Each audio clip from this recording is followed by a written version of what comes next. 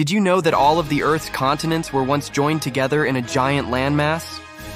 It's true. About 300 million years ago, all of the continents we know today were joined together in a supercontinent called Pangaea. Pangaea. The name comes from the Greek word for all, which is pan, and the Greek word for earth, which is Gaia. But unlike today, there was only one supercontinent. So when it broke apart, it broke into smaller pieces that eventually became the seven continents we have today. We think it was home to the first dinosaurs.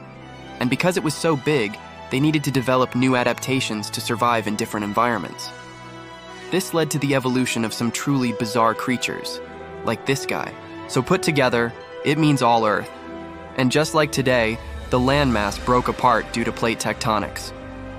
But that's not the only crazy thing about Pangaea. We don't know what it is exactly, but we do know that it lived during the age of dinosaurs. And if you look closely, you can see that it has feathers.